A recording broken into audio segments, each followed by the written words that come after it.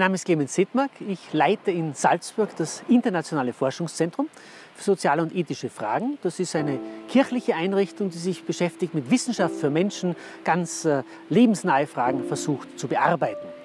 Ich bin verheiratet, habe drei Kinder und wohne in Seekirch am Wallersee und arbeite sonst auch noch in London an einem Lehrstuhl für Sozialethik.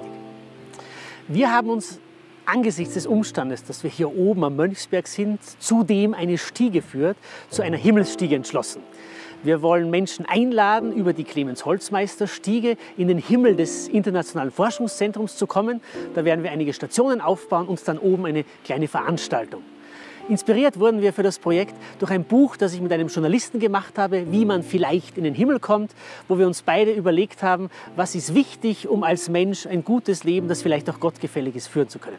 Offener Himmel, als Theologe denkt man sofort an Bibelstellen.